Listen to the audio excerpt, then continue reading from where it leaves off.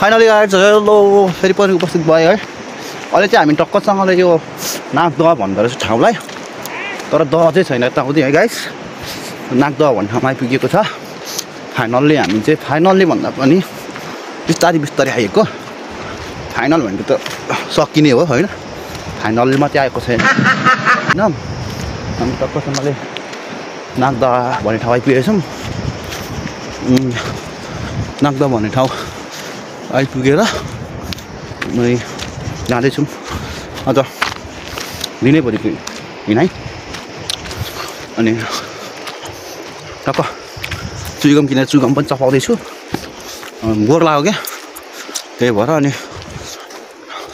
कता पारी अग्लो अग्लो पाहाडहरू छन् त्यो पाहाडहरूको नाम के हो थाहा छैन जङ्गलै जङ्गल छ है के हो त्यो थाहा छैन अनि यता पनि छ जङ्गल जङ्गल छ तपाईँहरूदेखि जङ्गल चाहिँ माथिसम्म जङ्गल छ र बिचमा चाहिँ रोड छ बिचमा रोड छ रोडै रोड हिँड्दैछौँ अनि यो जुन तपाईँहरू देख्दा यसको खेतमा चाहिँ खोला यहाँ तल खोला छ खोला रहेछ गाई होइन अनि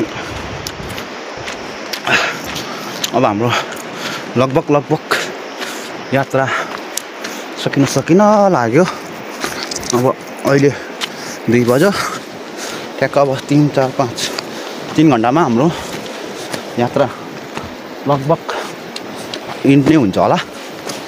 अनि त्यस पछाडि भोलिको तयारी हुन्छ। भोलिको तयारी पश्चात पछिको लागि त फेरि हामी रिटर्न ब्याक। हामी रिटर्न भइहाल्छौँ। हामी फर्किन्छौँ है। अनि वास्तवमा चाहिँ बाटोहरू रुडुङ छ रोड बाटोहरू यस्तो छ विकास हुँदैछ खोला नाला भिर पाखा पहरा गर्दै हिँड्दै हिँड्दै आउनुपर्छ गाह्रो छ तराईमा बसेर पाहाड हिँड्यो भने मान्छेहरू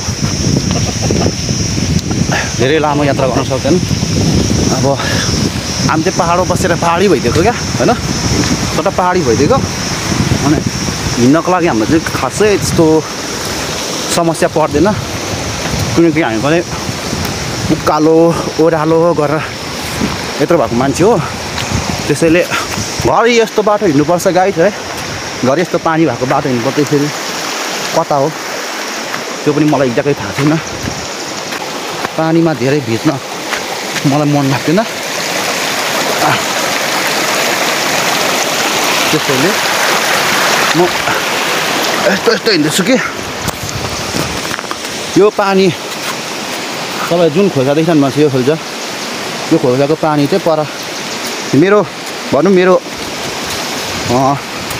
बुबाको पुरानो गाउँ यतै पर् यतै पर्छ पर्थ्यो अरे अनि पछि मेरो बुबाको आमा बाउले खाएको पानीको खोल्सा अरे। यो खोल्सा त्यो पानी खान्छ अरे यो खोल्सा। त्यो मुहानबाट आएको छ अरे त्यो खो त्यो कुवाबाट आएको खोल्सा अरे। निकै ठुलै रहेछ खोल्सा पनि होइन? अनि त्यस्तो थियो अरे अरे अब हामीले देखेको छैन गाई छैन अनि यहाँ पनि यसो बाटो हिँड्नेहरूलाई सानो धाराको व्यवस्था गरिदिएको रहेछ। अनि अब हामी फेरि यता बिजुलीको व्यवस्था पनि रहेछ। अहिले विद्युतको पर्याप्त मात्रामा उपलब्ध रहेछ। ढिलो छिटो भए पनि दियोस्। बत्ती आइपुगेछ यहाँ पनि। धेरै खुसीको कुरा हो। बत्ती आउने भन्ने ठुलो कुरा हो। परालको भारी यसरी बान्छ गाई यता चाहिँ बाँध्दो रहेछ होइन? चोयाले। हाम्रोतिर चाहिँ खरले बान्छ। खरको भारी चोयाले बाँध्दो हाम्रोतिर चाहिँ खरले नै बान्छ यो भएर र अब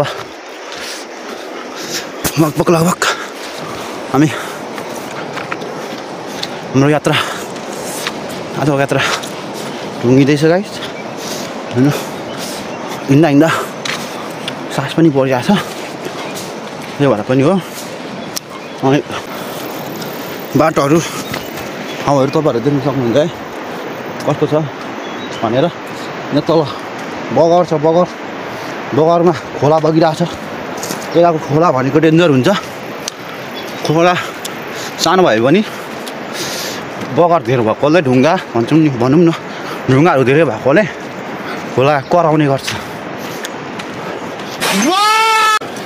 शङ्खसभाको खातबारीदेखि उँधो भनौँ अरुण नदी ठाउँ ठाउँ कराउँछ ठुलो हो नदी तर ठाउँ ठाउँ कराउँछ यो भनेको धेरै ढुङ्गाहरू छ।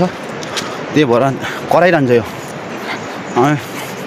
अरुणमा चाहिँ कोही ठाउँसम्म छ कोही ठाउँ ढुङ्गा बढी छ। त्यही भएर ठाउँ ठाउँ कराउँछ अरुणमा चाहिँ। तर यहाँ चाहिँ कन्टिन्यू एनी टाइम कराइ नै रहन्छ। ल अन्त गाइज फेरि म केही समयपछि उपस्थित हुनेछु होइन? अहिले यहाँ यहाँको विशेष ठाउँहरू भनेको चाहिँ मैले देखाइहालेँ तपाईँहरूलाई। यहाँको विशेष आस्रोत भनेको नि रुद्राक्षहरू रहेछ। रुद्राक्ष बगान छ। अनि खेतीहरू हल्का फुल्का खेती रहेछ होइन?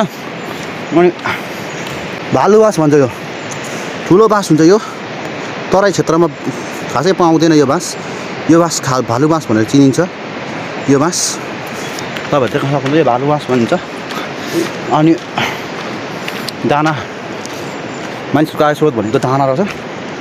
त्यो दानाबाट उनीहरूले आफ्नो जीविका उपार्जन गर्छन्। अनि खानको लागि खेती गरेका छन्। खानको लागि यति खेतीले त पुग्दैन नि पुग्न त धेरैजना हुँदाखेरि। तर पनि यसो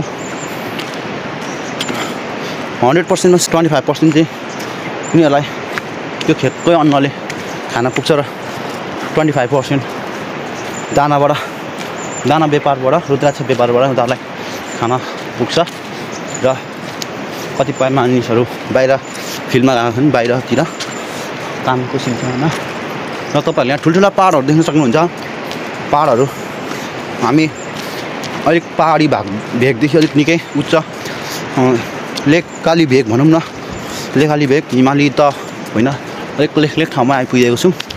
र हस् गाई छ। यस्तै भ्लग गर्दै जानेछु होइन? अब के कस्तो प्रतिक्रिया आउँछ तपाईँहरूलाई? कमेन्ट गरिदिनु होला। है? ठाउँहरू यस्तो छ। कमेन्ट गरिदिनु होला। र मेरो जति पनि भि भिडियोहरू छ लाइक गरिदिनु होला फलो सब्सक्राइब गरिदिनु होला है? नयाँ हुनेले सब्सक्राइब गरिदिनु होला। सब्सक्राइबरहरूले सेयर गरिदिनु होला। हस्त भाइ। केही समयपछि फेरि उपस्थित हुन्छु। त्यति जेलसम्म फेरि बिदा लिन्छु। हस्त भाइ।